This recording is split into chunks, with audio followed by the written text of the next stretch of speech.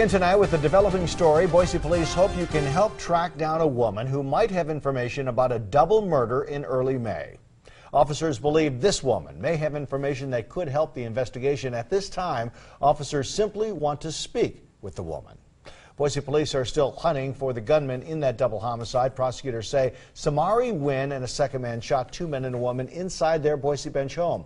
Of the two men, Taranti Calloway and Elliot Bailey were killed. Wynn was charged with two counts of aiding and abetting murder and one count of attempted murder. But prosecutors say Wynn was not the shooter. Here is another look at the woman police want to speak with. Officers are hoping that she or someone who can identify her will contact them through Crime Stoppers. That number is 343 COPS.